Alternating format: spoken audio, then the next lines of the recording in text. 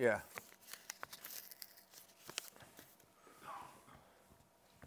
Okay.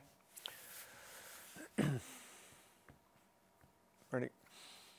Uh, well, sorry I can't be there tonight. I'm currently in Brazil preparing for the World Cup coverage. Uh, I hope you have a fantastic evening and well done to all those shortlisted and in attendance this evening.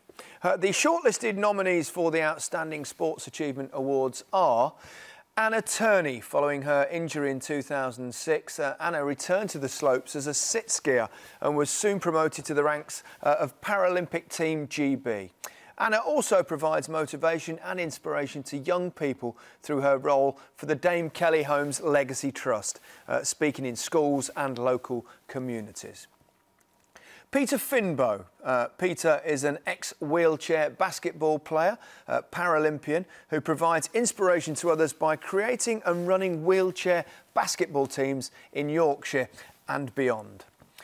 And Liz McTernan. Uh, well, Liz is a world-ranked paracyclist aiming for a place on Team GB for Rio uh, 2016. Among her many achievements, Liz was world uh, para-triathlon bronze medalist in 2012. Uh, Liz also uses every opportunity to encourage others into sporting pursuits. Uh, we better see who the winner is. Um, open the envelope I've got here. And there we have it. The Outstanding Sports Achievement uh, Award uh, winner this year goes to uh, Liz McTernan. I'll now hand uh, over to number five, uh, Chambers, who will hand over the award. Thank you. There we go.